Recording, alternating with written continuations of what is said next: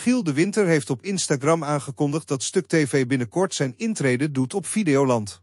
Het eerste project dat uit deze spannende samenwerking voortvloeit, is een vernieuwde versie van het populaire programma Het Jachtseizoen. Droom groot. We gaan exclusieve series maken voor Videoland, zegt Giel enthousiast. Hij deelt verder dat hij meer dan 13 jaar geleden de ambitie had om content te creëren voor een nieuwe generatie kijkers, waarbij deze hun stem konden laten horen. Het avontuur begon per toeval op YouTube, waar ze, dankzij de steun van hun fans, snel uitgroeiden tot een van de grootste online platforms. Na hun succes op YouTube kregen ze ook de kans om hun programma op SBS tijdens prime time uit te zenden, wat leidde tot een massale kijkersrespons.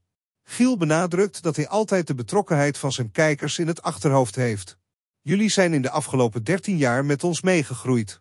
Jullie zijn massaal gaan streamen, waardoor het voor Stuk TV tijd werd om een vaste plek op een streamingdienst te vinden. Het is nu tijd voor een nieuwe stap met mijn jongens, Thomas van der Vlucht en Stefan Juriens, redactie.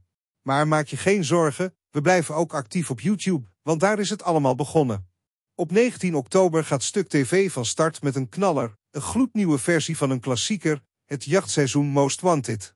Dit programma belooft spannende en verrassende wendingen te bieden. Recentelijk kwam het nieuws naar buiten dat Stefan Juriens een dubbelleven leidde, zoals besproken werd in een uitzending van Roddelpraat. Jan Roos en Dennis Schouten brachten deze onthullingen aan het licht.